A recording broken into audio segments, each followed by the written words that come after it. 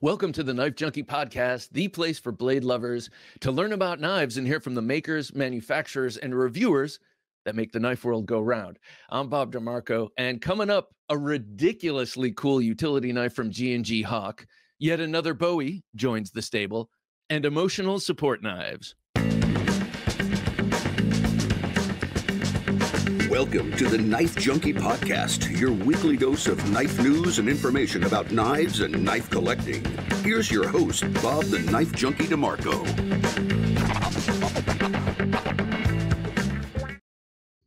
Welcome back to the show.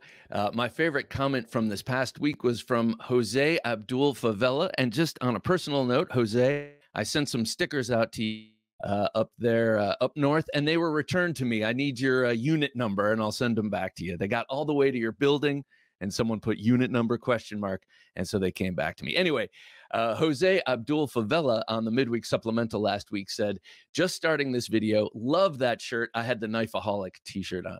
He said this month i spent $3000 canadian on knives. Lynn thompson leatherneck 10.5 clip point arriving soon. By the way that's one i'm really interested in uh, from knife center Knifeaholic for real.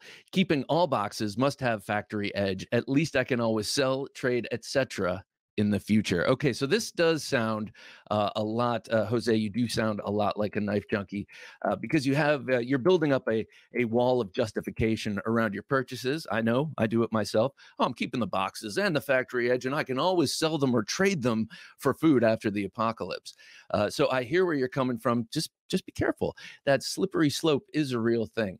Um, oh my gosh. And who am I to lecture you?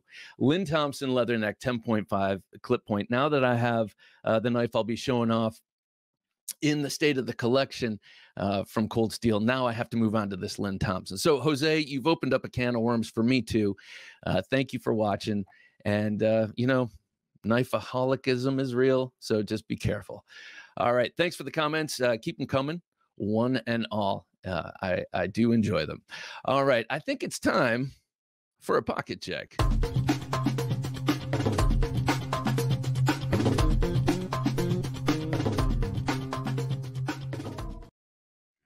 Uh, today, I had an interesting carry on me, a little bit different, uh, reflecting fall, if you will. I had on me the asymmetrical contact. I am in love with this knife, this Wharncliffe um, frame lock folder, titanium frame lock folder. This is uh, has one method of opening, just like an old school knife, and I love it. Uh, that is thumb studs on incredible action. This thing is buttery, buttery smooth on bearings.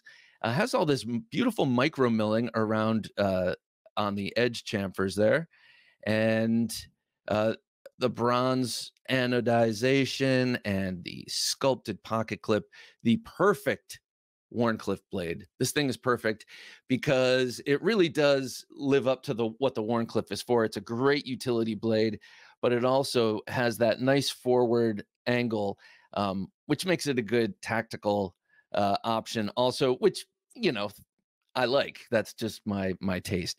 Uh, so this covers a lot of bases for me. It is practical and it is tactical, and it's a 3.15 or it's the 3.34 inch blade, which is just south of my preferred 3.5 to 4 inch. Uh, but but it is. I find that with Wharncliffes like this and the Yojimbo and and some other uh, knives actually by Dirk Pinkerton, uh, I can go low. I can go to 3.125 in my front right pocket and feel confident that I have enough knife to take me through the day. Uh, this is S35VN. Asymmetrical is the mid tier line from uh, Beyond EDC, a new brand uh, out of the United States with uh, manufacturing in China. David Sun was a guest on the show. David Sun, the proprietor, great guy. Met him at Blade Show. We had an awesome conversation. I love what he's doing. Uh, he, by the way, is the one, um, or Beyond EDC is the company that makes the River Wolf by John Demko. That's in their Terra Nova line. Terra Nova line. That's their top tier sort of uh, collaboration line. Okay. Uh, what else did I have on me today? I had for emotional support, which is going to be the topic of the day.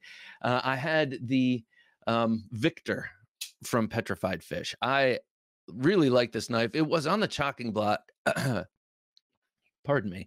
It was on the chopping block for a short period of time, uh, only because uh, I had a whole bunch of knives in this tier on the chopping block, and uh, they have all come off shockingly uh, because i feel sometimes i need them around for comparison knives i need them as cast members you know for the show so to speak uh, but this one i don't think i'll ever get rid of because of that blade that that beautiful bowie blade. I mean to me this is uh, a design, a Bowie design, a Bowie profile that you could put next to a, a 110 or a Cold Steel Recon 1, or uh, there are a few really, really emblematic, uh, iconic Bowie designs out there. Uh, the the Hinderer uh, folding Bowie, I think, is amazing. I think that this deserves to sit on the shelves with those just in terms of profile it, it is a beautiful and perfect bowie so i i will be keeping this uh, but it also is wearing these uh, these these blue jeans uh, that i just love so much these uh, micarta scales that have been actually picking up the funk pretty well and and bluing up nicely I, you can see when you look around the pocket clip how much patina there is on these handles i i love the color of this blue denim micarta. I frequently compare it to the jeans you might see at a mall walking around. And uh, I don't know. I don't know. Like it a lot. But emotional support, we'll talk about why this knife garners emotional support. This is actually on a number of levels. To me, the look uh, and utility of that Bowie blade, but also uh, the the feel of the action has so much to do with it, and we'll be talking about that a little bit downstream.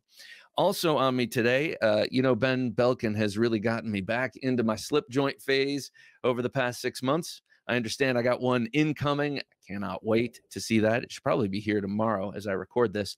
Uh, but today in my pocket, I went old school. I went back several months uh, to the Little Bro. Uh, this is the boy's knife made by Jack Wolf Knives, designed by Ben Belkin. It's uh, his modern interpretation of the classic boy's knife.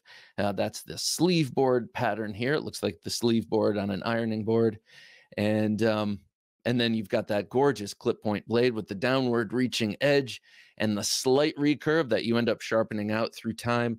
Look at that sharpening notch. Speaking of which, that is a fully hollow ground blade, hollow ground all the way up to the spine and uh, very, very thin behind the edge. And with that sharpening notch, that large triangular sharpening notch, you get a lot of life out of that edge.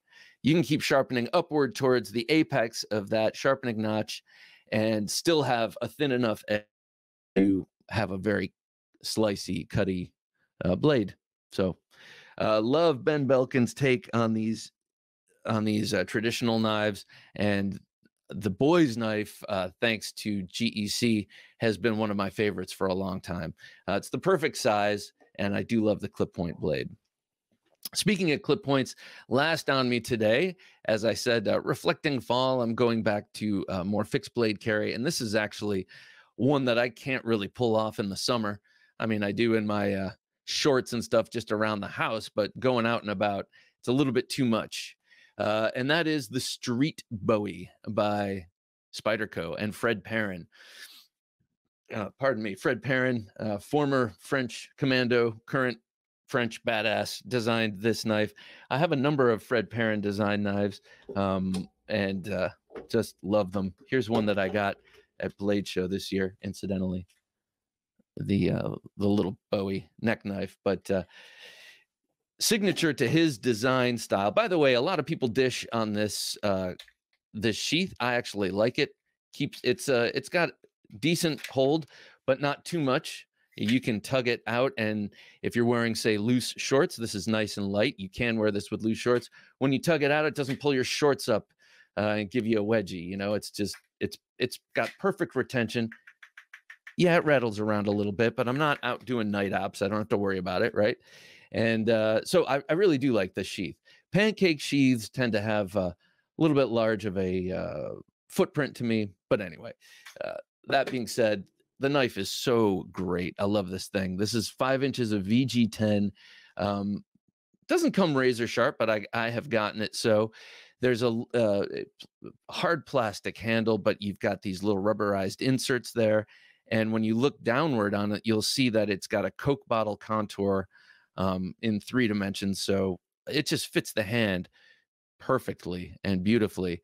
And this sharpening notch, or not sharpening notch, I'm sorry, this finger choil here is iconic. I shouldn't say iconic. That word is overused.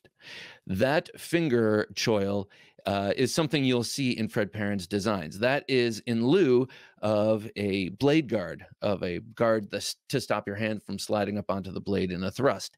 That deep finger choil uh, allows the blade to become the guard in a very French fashion, by the way. A lot of their old fighting knives look like chef's knives, where the blade is wider than the handle at the ricasso, and that acts as the guard. So you see that French tradition coming out in Fred Perrin's designs. And yet he loves the Bowie, which is very definitely an American design. So I like, I love his designs. I love the crossovers and such. He's got the Subway Bowie. Is that what it's called? the subway boy which yeah by the way if you're caught on the subway with that little tiny knife uh, they'll throw the book at you and you'll end up in rikers. Or actually these days probably not. Probably not. They'll let you drive the train probably. Uh, so fred perrin street street bowie this is a great utility knife too by the way. It reminds me a bit of the uh, of a small version of the trailmaster. Just a full flat ground bowie uh, very long, straight, slender kind of fighting Bowie shape with a nice swedge. Um, just a great carry. So this is what I had on me today. I had the asymmetrical contact. I had the petrified fish Victor, the little bro by uh, Jack Wolf Knives, and I had the the Perrin designed Street Bowie by Spyderco. What were you carrying today? Let me know. Drop it in the comments below. I always love finding out what you guys carry. It gives me ideas about what I should uh, be looking for, be on the lookout for, because y'all have such good taste. Uh, if you like what we do, please join us on Patreon. Uh, you can check it out by going to theknifejunkie.com slash Patreon or scanning the QR code. Uh, we have a couple of new patrons uh, that have just come in. We will announce them on Thursday night and then put them on next week's show in a nice big graphic. I do appreciate uh, all the support of the show, as does Jim. Uh, it helped me buy this awesome table that doesn't shake when I make just uh, gesticulations or pound the pound the desk. So uh, it's greatly appreciated, one and all. Join us by going to the knifejunkie.com slash Patreon. Again, that's the knifejunkie.com slash Patreon. If you're a knife junkie, you're always in the market for a new knife, and we've got you covered. For the latest weekly knife deals, be sure to visit the knifejunkie.com slash knives. Through our special affiliate relationships, we bring you weekly knife specials on your favorite knives. Help support the show and save money on a new knife. Shop at theknifejunkie.com slash knives. That's theknifejunkie.com slash knives. You're listening to the Knife Junkie podcast. And now here's the Knife Junkie with the Knife Life News those uh, knives in that liner, the auxiliary manufacturing, those Japanese looking chef's knives. I think I talked to that guy at Blade Show. Those things are fantastic looking. Uh, definitely uh, interested in that. Go uh, use that link. Always awesome stuff from uh, Knives Ship for uh, Knives Ship Free. Uh, okay, so first up, speaking of awesome and ridiculously cool, G and G Hawk, Grant and Gavin Hawk, father and son team they seem to be insane geniuses. Uh, they work out of sort of a barn. Obviously, it's not it's not a barn. It's a very high tech shop inside of a barn, but they are doing amazingly interesting things. Always have. Uh, they have um, their designs have been made by Chris Reeve Knives. Their designs have been made by CRKT and many many others, and they release things under their own um, under their own shingle like this. This is a utility knife, and it uses uh, it's a one-handed folding utility knife. You can see a thumb stud right above that pivot, and it uses something very similar to the lock that they used on the um, tie lock on uh, from Chris Reeve knives. This thing is, I mean, if you look at it, I mean, I don't even know how to describe it. It looks like a piece of steampunk kit here. It's got a cantilevered uh, sort of bar on top and uh, okay, well, you're you're gonna have to look it up to to see what it looks like. You can flip it open and all this, but uh, I want to read to you the some of the um, some of the thoughts behind this uh, from the Hawks uh, because of uh, let's see. Even with light use, the blade will need to be uh, resharpened, but resharpening can be problematic. He's talking about just regular knives and why they're coming out with this $450 utility knife. And uh, he continues, because of this, people tend to be careful with how they use their knives. Utility knives, by contrast, aren't maintained, so they must be completely renewed every couple of weeks. When you do replace the blade, it's like having a brand new knife. Uh, if you look at the blade, it's not an ordinary blade that you're going to be replacing. Uh, and, uh, you know, this is not exactly like the kind of utility knife you're going to be picking up at Home Depot, that's for sure. But I, I have never, ever been excited about a utility knife. But look, if you, I mean, I'm sorry, I'm a, I'm a little speechless uh, at at how cool this thing is because I remember when Todd Rexford came out with his utility knife and uh, the RUK and many others came out with theirs and and they cost a lot of money. I'm just like, this is just a a, a blade holder out of titanium with a slightly clever design. How can you justify that kind of money? But when you look at the engineering that goes into a G&G Hawk knife, and you look at this knife in particular that's on screen, yeah, it's out of titanium, and look at how it closes. it closes as quickly as it opens. I don't know. Uh, to me, here's a utility knife that's worth the insane, you know, cost. And $450 isn't isn't an insane cost for a knife in the kind of uh, collecting a lot of us tend to do, but for a utility knife, it kind of is. But look at that thing. Okay, well, you'll have to forgive me if you're only listening to this podcast because uh, words defy, as they often do with Grant and Gavin Hawk. By the way, if you think they're interesting, uh, you should check out the interview we did with them. I would like to do another one now that we do now that we do video. We've been doing video for years, but I did talk to Grant and Gavin Hawk before we did video, and uh, I could see what was going on. I could see their shop, but no one else could. So pretty interesting stuff. All right, next up, uh, zero tolerance. It's not really news, but I'm going to talk about it anyway. They're re-releasing a Sinkevich classic. I do love uh, Sinkevich designs. I'm especially fond of the zero six forty or um, zero four fifty uh, line. This is the zero four sixty. I had that and featured that on the channel quite a while back and ended up selling it for something else. Um, it has a very nice and light feel. Actually, maybe a little too light. That was something that turned me off a little bit about this knife. Uh, but they're re-releasing it in the dark wash with the with the red and black checkered carbon fiber. Now, this is kind of uh, uh, on trend for zero tolerance. They don't seem to be doing much new. They're just sort of rehashing older designs, and uh, that's fine maybe um I don't know. I don't know what's up with zero tolerance, but I miss them. I miss you, zero tolerance. What happened to you? You were beautiful. Uh, but this is a very nice looking knife. It's cool to see them bring it back. Uh, maybe they shouldn't. Maybe what they should just do is stick with the good models they have and not discontinue them, and just continue to the to make them. And maybe they would if they were selling. I don't know what's going on with them, like I just said. So maybe I'll just leave it there. If you're interested in the 046 uh, in the 0640, uh, definitely check it out. Wait, no, 0460 my bad. Definitely check it out because you can get it in this nice looking uh, blackwash uh, setup with the red carbon fiber. Okay, still to come on the Knife Junkie podcast, we're going to take a look at an awesome new uh, Bowie for me and something on loan from Hero Sticks. And then we're going to talk emotional support knives. The Get Upside app is your way to get cash back on your gas purchases. Get Upside is an app you put on your smartphone, and whenever you need to get gas, search your area for savings, claim your discount, fill up your tank, and then take a picture of the receipt with your phone. And that's it. You've just got cash back. Visit theknifejunkie.com forward slash save on gas to get the app and start saving. Again, that's theknifejunkie.com slash save on gas. And now that we're caught up with Knife Life news, let's hear more of the Knife Junkie podcast. it's no secret I'm in a Bowie phase. Uh, I think I'm I'm very public when I go into a phase like my dagger phase, uh, recent dagger phase, but this a Bowie phase because I feel like the more public I am, the more justified I am in collecting more of them because well, I told you all I'm into it. Uh, so here's one that's been uh, um, it's been on the docket for a long time and I just since I just discovered Chicago Knife Works and they have excellent prices on fixed blade knives, um, I decided to get this one. I've been a good boy at work, and I decided uh, to lay down the the relatively low amount of money for what you're getting out of this thing. Look at this.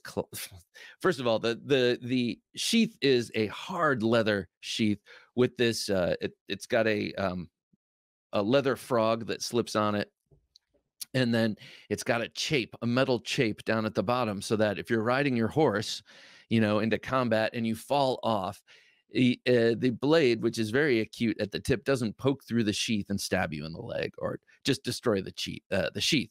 So it's got this big metal chape that's uh, blued which i love the look of. Um, actually in pictures i thought it looked kind of corny um, a little too sword like but then again bowie knife fighting is based on saber fighting um, so there you go. Look at the look at the uh, swing guard, or not the swing guard. The swing, the dangler is very stout on this sheath. That's what I'm getting at. This is made by Windlass Cutlery in uh, or Windlass Bladecraft, I think they're called, from India. They are known for their historic reproductions, uh, accurate historical reproductions that are quote unquote battle ready, uh, whatever that means. You know, we haven't had one of those kind of battles in a long time but they're stout and sturdy and sharp. And uh, this Bowie is certainly no exception to that. This is my first windlass made knife, as far as I know. Uh, and I really love it. Look at the shape of this Bowie. It's got a slightly upward curving blade, but it is it is relatively thin. Comparing this to say the Shining Mountain Bowie, which has a big fat belly and uh, reaches its widest point just above the apex of the clip. This sort of does, uh, well, it doesn't do the opposite, but it maintains a sort of parallel line, swells ever so slightly below the apex of the clip, and then goes towards this insane tip, that insanely acute tip. Uh, it is a stout tip, though, when you turn it on its side and look down uh, on the spine of the knife. It maintains, what is this, maybe three sixteenths of an inch. Sorry, I didn't measure. I don't think it's quite a quarter inch. Uh, but it maintains that thickness just about to the tip. Um, so you you have a very acute tip, but it's also really stout. I mean, um, I have seen people abuse this knife. I have not had a chance to take it outside yet. It's pretty new to me, uh, and we have a bunch of rain. We've had a bunch of rain this past week, and uh, I was planning on taking it out and kind of I don't want to say beating on it, but using it uh, somewhat hard um, while like getting wood ready for the family fire pit because it is a full tang knife. Um, much like, uh, say, the um, Trailmaster, which is the, my usual knife for doing um, for making kindling and for batoning and stuff like that. Uh, not that I want to baton this knife necessarily, but it's got this full tang unlike, say, the Laredo Bowie, which is definitely just a fighting knife. Uh, it's got a cable tang, which absorbs shock and no doubt is strong and soldered uh, tough in there. But I don't know, just having a cable tang to me does not say wood processing knife. Whereas something like this, which has a full tang here, you can see some machine chatter uh, right here. So not not the most refined construction, but not bad. Um, but you can see the full tang on the bottom part and then on the top it's saddled over kind of like a uh, the like kind of like a reverse um, Randall knife. Randall knives have a channel full tang as well. Uh, big S guard. I love the big S guard with the with this portion coming down over the four fingers. It just looks kind of like a pirate knife. It's it's it's a kind of a romantic uh, uh, style Bowie in that it's sweeping and dramatic and uh, but definitely useful and has a nice balance. You can you can really move the thing around and get the point where you want it to be with relative ease. So that has to do with the balance because the, knife is, you know, uh, it's about a pound, I think. you know, I haven't I haven't weighed it, but I think it's about a pound. And so that can be a lot moving it around, but uh, you know, this one is balanced nicely. And that wooden blocky wooden handle uh, I thought would be uncomfortable. It is not. So this is an excellent package, and you can get something. Well, you can get this from from uh, Chicago Cutlery, or Chicago. I'm sorry, I, I keep saying that it's not Chicago Cutlery. It's Chicago Knife Works. Look them up. Chicago Cutlery is a maker of like chef's knives, and that's not who I mean. I mean Chicago Knife Works. And they sell knives and they're great. They have great prices. And this was just north of a hundred bucks.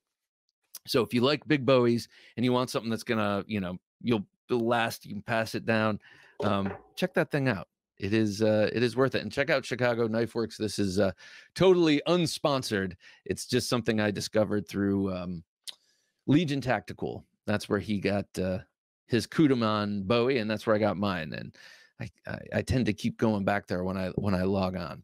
All right. So next up is another cool fixed blade. This one is from CRKT and this is on loan from Hero Sticks.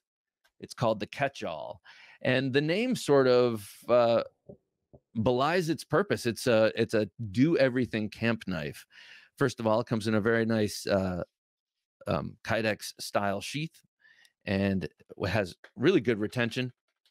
It's a little loose, but again, this is the kind of knife uh, that you're going to be banging around camp with. And actually, when this is locked, it doesn't rattle as much. But it's not uh, something you're going to be sneaking up on sentries with, so you don't have to worry too much about the rattle. Uh, it is in there, so it's not going to fall out. It is locked in there. It's just a little loose down by the tip of the blade. Uh, we have a rubberized handle with uh, with finger choils that is so incredibly comfortable.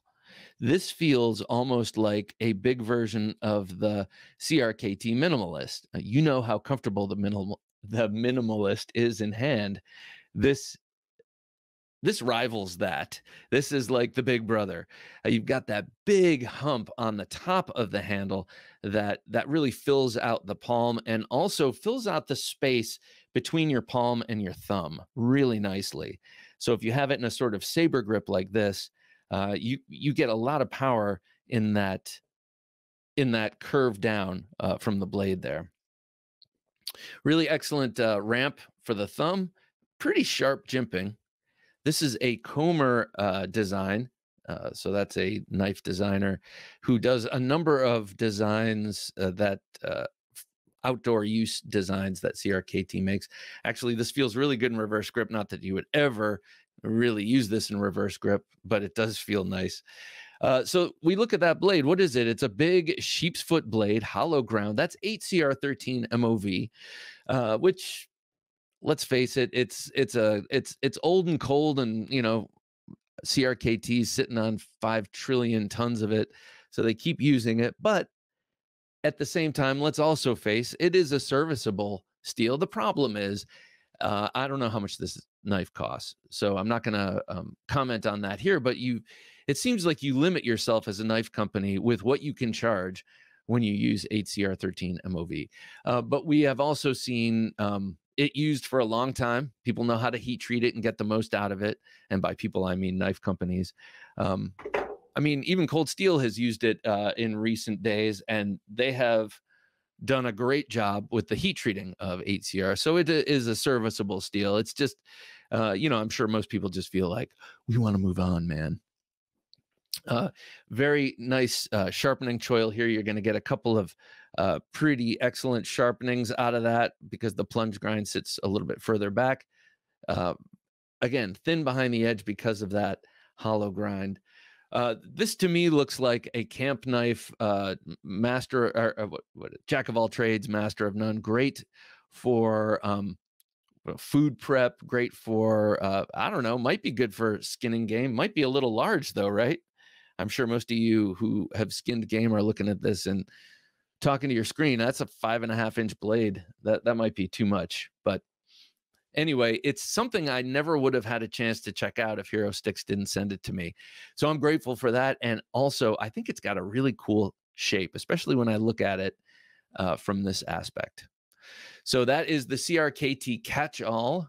It is a uh, from custom knife designer. Um, first name I can't remember, last name Comer, and uh, it is from on offer from CRKT, and it's uh, a newish newish knife. So check that out. Okay, so you've heard it before on this show many times. Emotional support. Emotional support knife. Okay, so we have all flown on uh, on on airplanes where someone has a little dog that they have hidden away in a little a little case and it yaps and and they embarrassingly talk to it and try and get it to to to stop talking but or to stop yapping but of course it's on an airplane and it doesn't understand what's happening with its ears and it doesn't understand the sensations it's going through and it's like why are we here and i think i smell food and all this and that's giving the stressed out owner emotional support uh, which I don't understand actually. So, uh, this is something I have observed. Emotional support animals tend to make uh, the owners more stressed out because they're worried that the people around them are going to be judging them and going to be angry because they can't control the whimpers coming out of their dogs. You don't have to worry about this with an emotional support knife. Emotional support knife is a knife you take along during your day that you're not expecting to necessarily use. You've got your front pocket knife, maybe you've got your in the waistband uh, you know self-protection knife but that third knife that esk that emotional support knife is important because it represents all the things about knife uh, collecting and knives in general that aren't represented in the other knives in your pocket but you get to have them there with you as well so that when you're sitting working and you need to break through uh, say a block of some sort you can pull that thing out and fidget with it and it can get the juices flowing. Okay, so emotional support knives are this is not by definition, but this is how it is working out in in my book. Need to have something unique about them and they need to be fidgety. They do need to be fidgety. That is a big part of it. But fidgety can range. That does not just mean drop shut. That does not just mean uh, the latest mechanism you can actually have, and we will show this, a fidgety lockback. We'll get to that. But first, let's uh, let's show my first and most recent and most usable I shouldn't say usable, the most carried in my front right pocket emotional support knife. Most of these knives are not carried in my front right pocket. All right, so this right here is the Kizer Begleiter XL, and this is the button lock version.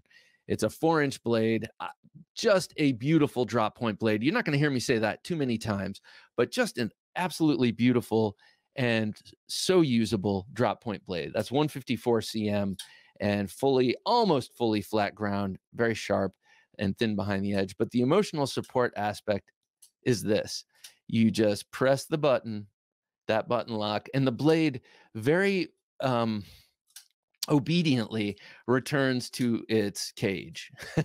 you know, this thing reminds me of a monster that you have under your control because it is a big blade.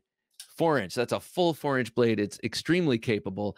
And uh, you never hear anyone talk about this, but this would make a very good uh, self protection knife if need be because you have the severe grip, the serious gription of the of the linen micarta, which has all those little micro pockets to grab onto your hand. And of course, when it gets wet, it's even grippier, but you have that long, thin, sharp blade with the swedge. It would be, it would, this would make a great fighting knife if you had to, right? Right. So it's like that monster that returns to its cage on command. And uh, something about that gives me uh, the emotional support I need to get through the day. But really, it is this it's the fidget factor. I guess I could have called this fidget knives, but uh, there is more to it than just fidget because these are not all little small uh, shrinking violets. So that's first up. Next up is one that was uh, sent to me by Vosteed. And from the moment I received it, it was true love. It's the uh, Bellamy. Funny name. Uh, but the Bellamy, this is a carbon fiber and M390 uh, knife. Now, this is 3.4 inches, so it's just south of my wheelhouse, so to speak. But uh, so you'll you'll rarely see this in my front right pocket, but you will frequently see this in my pajama pocket or in my uh, workout pocket and my workout shorts pocket because it's so light, but so extremely capable. And it's got three ways of deploying. It's got the uh, the front flipper, which to me is the least good. It's got the fuller, which I love, and then it's got the regular flipper. So if you're trying to get through a writer's block on some stupid script about something you don't care about, and you got to make it sound splashy like you do care about it, you can take this out and absentmindedly flip it in all three ways, drive everyone around you crazy. But something about the tension it puts in the air really is good for creativity. So uh, this Bellamy this Bellamy really does the trick for emotional support. It also has a very pleasing um, uh, uh, hollow grind that you can feel with your fingers, which I like to do with hollow grinds. I like to pinch hollow grinds and kind of feel how thin they are. And yet it's black wash, so you don't have to worry about the fingerprints uh, that are inevitable in other uh, knives of this ilk. So a lot gets covered with this knife for emotional support. It, you know, emotional support knives also cater to your neuroses. Uh, we're all prone to negative emotion from time to time. Like, oh my God, I just wish this thing wasn't such a fingerprint magnet. You know, like that kind of negative emotion. Well, this uh, uh assuages that too. So just a great, great emotional support knife in this Bellamy by Vosteed. Next up probably the very first emotional support knife ever. Um, and I've heard this described. An old Kempo karate teacher who was absolutely beautiful and reminded reminded me of a James Bond femme fatale. But anyway, she called this next knife the pacifier for martial artists, uh, and that is the Bally Balisong. Okay, so I have a funny story about this very Balisong. Uh, this weekend, I was uh, doing something with my daughter, uh, Olympia, my younger daughter. We we're in in this room, the knife room. We were doing some painting, and I had to open up a package. And so uh, I pulled this knife out and I flipped it open. I opened the package. And she was like, "Whoa!" I guess she's never seen me do that before. She's like, "Whoa! What was that?" And I was like, "It's a song You know, your mother can do this too." And I started flipping it to close it, and on the second flip she had ever seen, it dropped out of my hands and landed on the floor. And she just looked at me and she said, Oh, haven't mastered it yet. And she went about her business, and nothing I could do could get her interested in the knife. I picked it back up and did a bunch of cool flipping. She was like, Nope, you had your chance. Anyway, the butterfly knife used to have a huge role in our household before we had kids. My wife and I always had one on our table. Uh, our our our um, what do you call it the tv table you know when we were in our apartment in new york and we we've always had balisongs kind of around as utility uh, utility knives and and there is something cool about seeing my wife you know uh, absent-minded not absent-mindedly uh, without without much thought pulling it out and and uh, whipping it open and using it for whatever and then closing it back up uh, when we had kids we st- kind of stopped leaving them around uh, so much but the love has not faded. And so when Kershaw came out with the Lucha, a um, a Balisong with the proper dimensions, that is a uh, 4.125 inch, va- roughly 4.3 inch blade uh, with titanium handles. I jumped all over it, especially considering it's not the extravagant cost of other um, Balisongs, uh, other good Balisongs, I should say. Um, so this one is what is it, 154, I believe. It's made in the US and just an awesome knife. I really recommend this. And they just came out with a drop point version, leaf shaped bladed version of this, but I do like this uh, clip point. This came out in, I think, 2019. In 2019, they were doing these weird swedges on their clip points, and I really like them. So the original emotional support knife, uh, the Balisong, is number three on this list. Number four, and these are in no particular order, of course. Uh, number four is the AD15. Uh, in this case, by Cold Steel, and probably in most cases from Cold Steel. Uh, this is the Cold Steel version of the classic uh, scorpion locked custom knife by the Demko brothers, by uh, Andrew Demko and John and Cold Steel, by all indications, including the the Demkos, did an amazing job at translating this this very expensive and exclusive custom knife into something that everyone can have. And in doing so, they've put this incredibly fidgety and fun lock in a lot more hands. And you know, you know this. It's a backstrap lock. This uh, Scorpion lock. Now, this uh, interface is a little different than on the customs. On the customs, uh, this this is a hinge here. Here on the cold steel, this is all one piece, and it it hinges there. It doesn't break there. You lift that up, it pulls that pin out of the notch in the back of the tang, and the whole thing swings shut.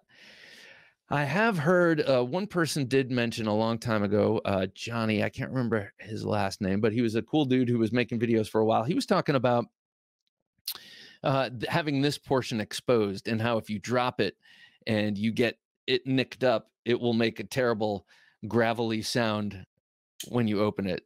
And I thought that was an interesting observation. Uh, maybe maybe that hardened steel won't won't dent up so easily, but who knows? Uh, just an interesting thought. So, why is this an emotional support knife? Yes, it is fidgety, but also, if by chance, uh, you know, the apocalypse happens on your way to work and this is in your pocket, you're well covered. This is an incredibly stout and sturdy knife. And the strength of that lock, which is very, very strong, is only added to by your own strong, uh, manly or womanly grip on this thing. Really keeps it closed uh, and and just compounds the lock. Of course, you have a really nicely shaped drop point with the swedge, so you can get some good penetration with this if need be. Uh, but it has a, a, high height. That's about a two thirds high uh, saber grind, flat grind. So it is fun and fidgety, but uh, will see you through the toughest of times if they happen while this is in your pocket. So uh, AD15 is definitely an awesome emotional support knife. Uh, one minus to this being an emotional support knife. and possibly uh, the this big one, and actually the Lucha so far. Uh, a lot of emotional support knives are, are smaller than the ones I've shown so far. So if this is not your main knife and this is in your back left pocket, you're going to notice it. So uh, emotional support knives can be main main carry, uh, but generally they aren't. Okay, next is the Finch buffalo tooth. This is relatively new to my collection. And I don't know. The emotional support that comes from this uh, cannot be fully explained because some of it comes from gazing at that beautiful Cocobolo wood.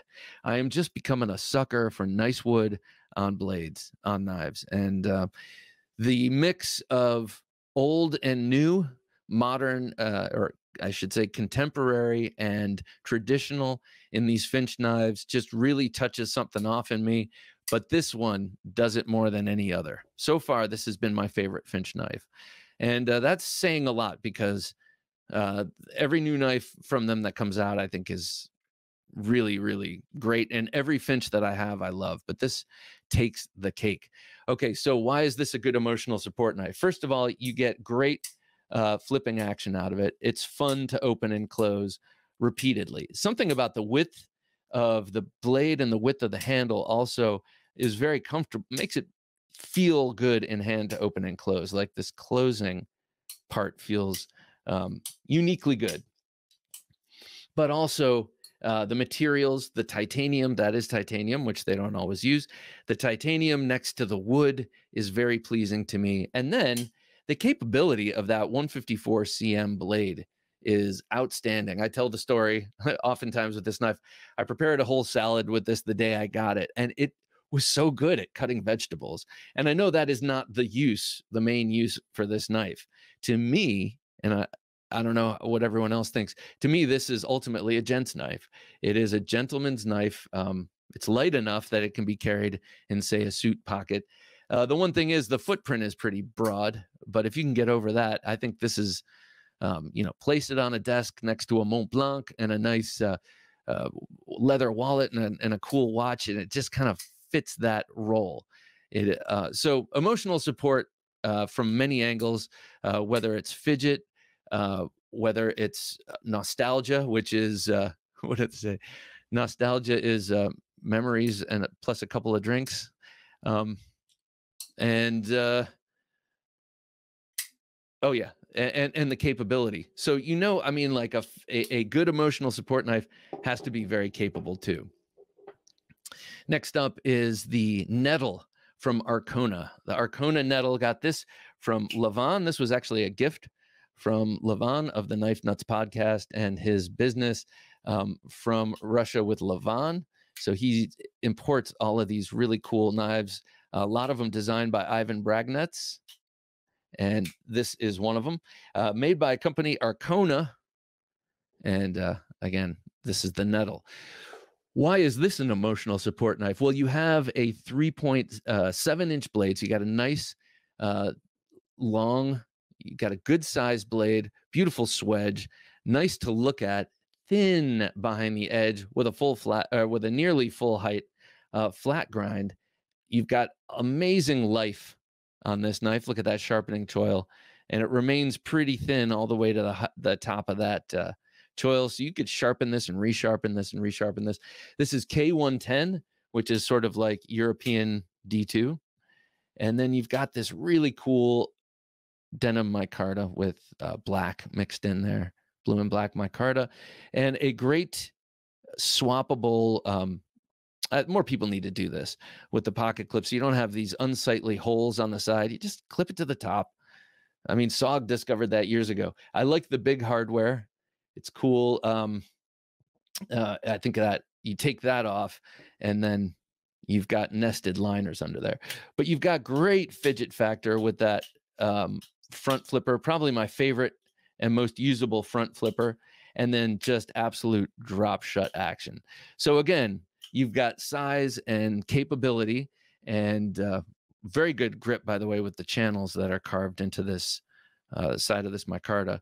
You've got the size and the utility, and then you have the absolute joy of opening and closing it. So you get the the fidget and the use, like you do out of this next one. This is the AD 20.5. So you get that awesome shark lock. Another, this is the one of three Demko designs in this lineup, which was not planned. But hey, I love I love the man's designs. So they're gonna they're gonna give me emotional support, right? This one is gotta say, I say it every time. That shark foot, that's an ugly duckling. It's a face only a mother could love, um, or a father in this case. And you know, I've grown to love it. Uh, very useful blade shape, uh, except if you want to stab something. Um, but on the whole, we don't have to do that much. And if you need to get into a clamshell or something like that, clamshell packaging that requires a uh, puncture, mm, that will do the trick. This is uh, the uh, AUS 10A. This is the very first run that they came out with. Um, I have put a lanyard on there. I had I carried this around. Uh, this was one of my EDCs on my 50th birthday uh, a couple years ago. Big party, and this came out all the time because the other knife I was carrying was was just too big. I didn't want to freak anyone out. Um, so this came out a lot. This got used to carve a whole bunch of dry tiki torch bamboo, which is more uh, more of a pain in the butt than it sounds like, and did an awesome job. But really, the emotional support that comes from this knife is the design and that lock. This is just, mm, just a fidget fidget master. And I actually like these FRN handles. These gray anonymous FRN handles, I think are so cool. Now, of course, like the bug out and like so many other knives in of of this kind of ilk, um, there are just a million options now. That starts off with the one FRN option, and now there's like a million different ways you can have your AD 20.5. And however, however you do have it, it will, I guarantee you, it will be a great ESK for you, as well as full-time EDC. All right, next up, I would be remiss if I didn't have a knife in here uh, and actually this knife in particular, but a, a knife in here that has the compression lock. So this is one of my favorites. This is a three three and a quarter inch knife, one of the few that I will carry in my front right pocket. I mentioned that about the asymmetrical contact. Well, this is the other. This is one of the others uh, that is small, a little big knife that I will carry in my front front right pocket. So just before I continue, look if you if you look at that forward angle uh, on the Wharncliffe, that's a big part of it. Uh, if you line, if we were to line up a Hinderer XM18 Wharncliffe right now, you would see that that has the very same tip angle. So for me, that's what makes the most useful Wharncliffe uh, because you get that pull cut utility cut tip, but you also have a very thrusty sax like um, weapony tip, let's say. Rolls right off the tongue. But this knife, so this knife gives you the emotional support of knowing you have a um, dyed in the wool, or I should say, um, uh, purpose designed tactical knife in your pocket, self defense knife in your pocket that just doubles as an incredible utility knife. Um, we were talking about that G and G Hawk utility knife that's so amazing. Well, this, uh, you know, this is not a G and G Hawk knife, but this is similar in that it is like a big utility knife, but it's also just a beautiful design. Uh, Michael Janich, uh, the man behind Martial Blade Concepts, um, designed this and the Ronin and the Yojimbo one, the Yojimbo two, uh, the Yojimbo, but to me, the Yojimbo two, which is this, is his most perfect design. I have the five by five Combat Solutions pickpocket on there. I think it's called the pickpocket. It waves the knife out of your pocket, which is great on this knife. Uh, so it gives me the emotional support of knowing I have a an incredible self defense knife on me, uh, but also and and it, it looks good, of course. But also, there's this. It's just so nice to open and close. That fidget factor is off the hook with the compression lock. Uh, by the way, all of these have to be good looking to me.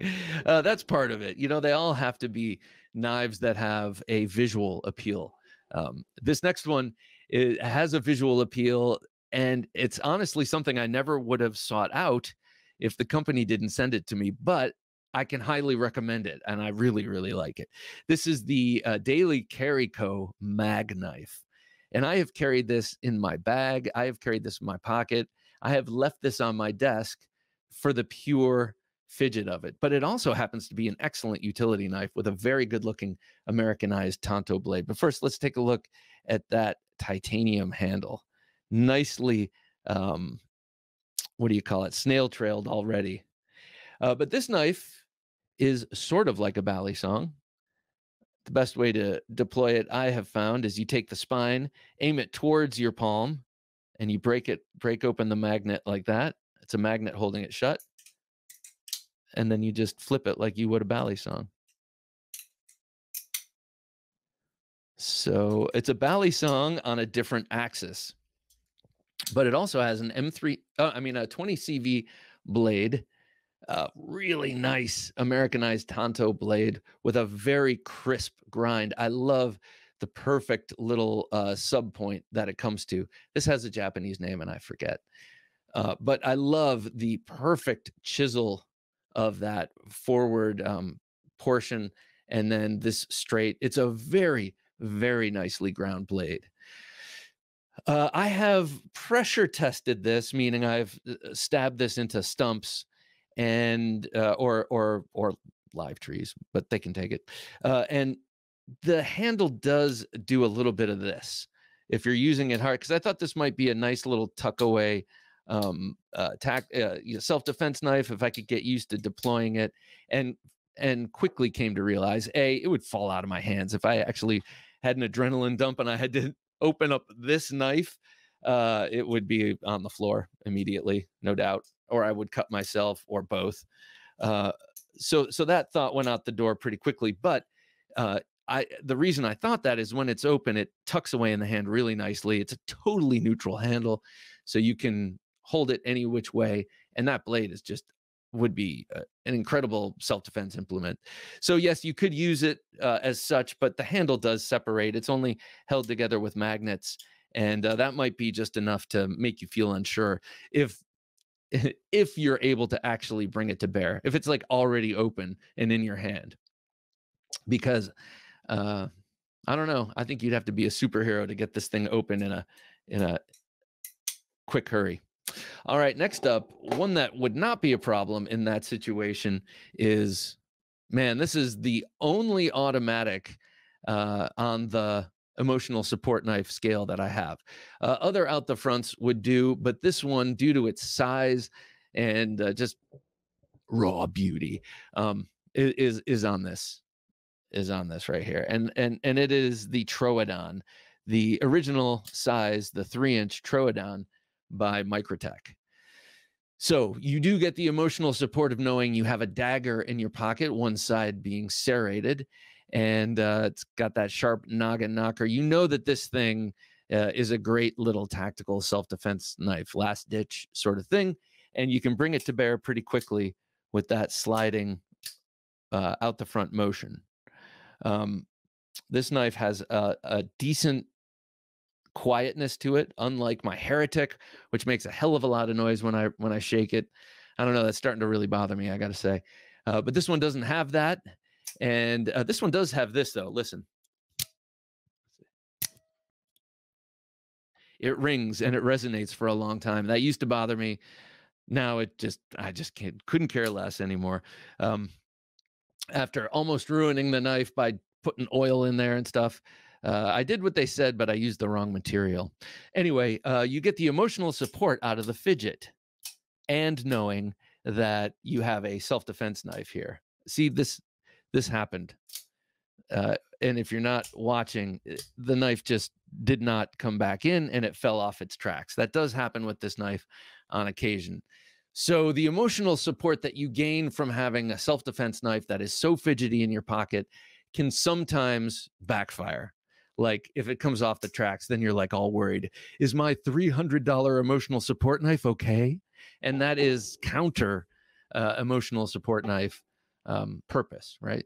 You, you, they're there for your feelings and your emotions. Uh, okay, third to last here. You know, what kind of a monster would I be if I didn't have an axis lock? And in this case, it's the Able lock, the an enhanced bar, uh, the the ambidextrous bar lock enhanced by Hogue. That's what Able stands for. Uh, they just do a great version of the of the axis lock. Most people do at this point, even Sitivien. Sitivien, the very inexpensive Chinese knives. We gave one away here uh, just the other week. Man, they they have it nailed. They have the axis lock nailed. Uh, so I mean, they've probably been ripping it off for years, so they had a chance, but or they had time to make it great. But Able, the Able lock from Hogue is my favorite. It just is awesome. And this little knife, uh, this is the Ritter Hogue Mini RSK Mark One. Um, this was given to me by Doug Ritter, so it has uh, a lot of sentimental value. Uh, it's purple, which is beautiful. So, and it's incredibly capable. That uh, knife that you can pull out in front of uh, the masses, the hoi polloi, without scaring them. Uh, that is at work and such. So this has a lot going it going for it, and uh, not the least of which is this awesome flipping action and uh, and fidgetiness. Uh, the fact that it's small means a lot too, because I found that with the larger one, the large RSK Mark One, I just didn't carry it. But this one I do carry a lot, uh, especially after I put a bug out clip on it. The bug out clip looks great on this knife. I do not like Hogue clips. That's the one ding about Hogue. I do not like their clips, but that one is great. So uh, if you have a, uh, uh, a Mark One, I'm sorry, an RSK, and you don't like the clip, you can always put a Benchmade clip on it. Okay, second up, or second to last, penultimate in the list here is one that is new to me, but I'm loving it. Uh, I got two knives from this company. Uh, this is from sharperedges.com and they have uh, this they they have this line elite tactical and uh, frankly they're well they're inexpensive and they're I'm, I'm glad they sent me these knives because i can actually endorse them now uh, i thought they looked cool um, but i, I kind of expected them to be cheap i'll be honest i expected them not to be that good and man uh, they are that good uh, this knife is the conqueror and it's a three point uh, I mean, a, a 4.75 inch uh, blade. I asked them to send me this one. They, uh, they and then they sent me a really good utility knife that's kind of an ugly duckling, but is awesome. Um, but we'll talk about that one at, another time. This Conqueror is, you know, it fits the big tactical, um, uh, the big tactical need. This is uh, supplies the emotional support that your big brother behind you in a fight does. Um, but it's really nice. It feels good in hand. This is FRN, but it's molded with this sort of wing pattern that feels good in hand. It gives you uh, a couple of grips like a like a cold steel will. So you can be all the way back here, or you can come up here. And uh, so you have about two options, I guess, but still very nice that you can use the length of that handle. Um, the fidget factor is insane. Uh, this lock um, is not an axis lock. It looks like it is, but it's not. When you lift up on this, there is a bar inside that that gets there's a stop pin that ow shit excuse me there's a stop pin that fits into the notch on the back of the blade and uh, when you lift it up a yoke comes up actually it's most like a scorpion lock in there. It's most like a scorpion lock where you have a little uh, a little notch in the blade and then a uh, lock uh, pin drops in there. That's what that's what's going on inside, and then this thing here is what allows you to lift that mechanism up and pull that little yoke up and remove the stop pin from the notch on the back of the blade. So, uh, what does that result in? It results in incredible fidget factor with a big knife. And the cool thing is, is it's not loud. It clacks. It's got a plastic clack. It doesn't have a metallic sounding clack to it. Uh, the stop pin is metal. I have confirmed that. So it's not plastic on metal, but it's got a really great fidget, easy to do one handed. I, I always find the um, bar locks like the axis, I need both fingers, and that's fine. I'm fine with that. But this one is very definitely a one-handed fidgeter. Um, and then, so as an ESK, this is probably the newest one uh, in this list. I get the emotional support of knowing I have a big knife, a big folder, and this this is strong. I've spine whacked this just to try. I, I was very kind of suspicious of this lock uh, at first, but I am no longer. Uh, so I have the emotional support of knowing I have a big burly knife on me, but it's fun as hell to open and close. Um, and it's D2 blade steel. It's good to go. Oh, wait, no, this is 8CR13 MOV. The other one is D2. Um, so good to go knife to throw in the in the bag. All right, last in the list is this is one that is my favorite dog walking knife. It's my favorite going uh, in in my urban uh, uh, urban outback. Uh, it's my favorite uh, knife that I bring along for self protection. I'm I'm talking dogs. I'm talking people. I'm talking, you know, whatever whatever I might need to unzip. Uh, that's what I carry this for. So this this knife gives me the emotional support of knowing I got my bases covered for self protection, and that is the Cold Steel Voyager XL Vaquero. Now, if I needed this and finally like uh, accidentally found myself lost in a jungle, this would be an outstanding knife for that kind of utility as well. But this is a signature series uh, Lynn Thompson knife. I have a couple of those signature series knives, and uh, but this is my favorite and most used of all of them. It's on the uh, it's the Cold Steel Voyager XL platform. It is, but it's unlike the usual ones. It has the green FRN. I think they're starting now to bring color into their knives finally. Uh, but it's got the green FRN and that Yatagan blade. Look at that thing. Uh, sometimes looking at the knife upside down really shows you how dramatic that sweep is. And then, of course, as Lynn Thompson does, uh, he puts the serrations on this already wickedly deadly blade. Uh, Yatagan is the is a short sword out of Turkey, um, and it has that recurve and the point is lower than the knuckles, but still kind of uh, comes up to the center line. So you've got two, you've got a, a belly coming and going, and then you have that deep recurve here. So just a wicked, wicked blade. I have it with the uh, snaggletooth MF on there, so it can I can pull it out of my pocket and wave it open and have it ready to go. I don't like the way uh, the snaggletooth disrupts the lines of this knife in particular, but this isn't about looks. This is about uh, having this thing on me. And I mentioned way early on that a uh, backlock can be fidgety, and I say that cold steel um, triad locks are fidgety because they set them up for one-handed close so that if you have your finger up in the front of that finger well it's the ricasso is gonna is how it's gonna stop and then you can so you can do this with pretty much all cold steel triad lock knives. They, they have them set up for that. So you can fidget it and you can save a life or two with this thing. Um, that is the Voyager XL signature with Lynn Thompson's second grade teacher signature on it. I absolutely love it. All right, ladies and gentlemen, thank you for coming on this journey with me through my emotions and the emotional support knife. What is your emotional support knife? Do you buy into the concept, or are you one of these people who takes your nervous dog on the flight just for your own good? And uh, the dog be damned, and the rest of the people around you be damned. Are you one of those people? Let me know. Or are you just someone who's satisfied with an emotional support knife, as we all should be.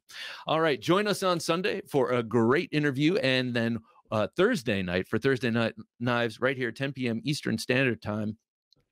Also on YouTube and Twitch, or you can download us to your favorite podcast app as listed uh, right next to my face. Uh, so I think that's about it for this week. For Jim working his magic behind the switcher, I'm Bob DeMarco saying the caffeine is finally kicking in. And until next time, don't take dull for an answer. Thanks for listening to the Knife Junkie Podcast. If you enjoyed the show, please rate and review at reviewthepodcast.com. For show notes for today's episode, additional resources, and to listen to past episodes, visit our website, theknifejunkie.com. You can also watch our latest videos on YouTube at theknifejunkie.com slash YouTube. Check out some great knife photos on theknifejunkie.com slash Instagram and join our Facebook group at theknifejunkie.com slash Facebook. And if you have a question or comment, email them to Bob bob at theknifejunkie.com or call our 24 7 listener line at 724 466 4487 and you may hear your comment or question answered on an upcoming episode of the Knife Junkie Podcast.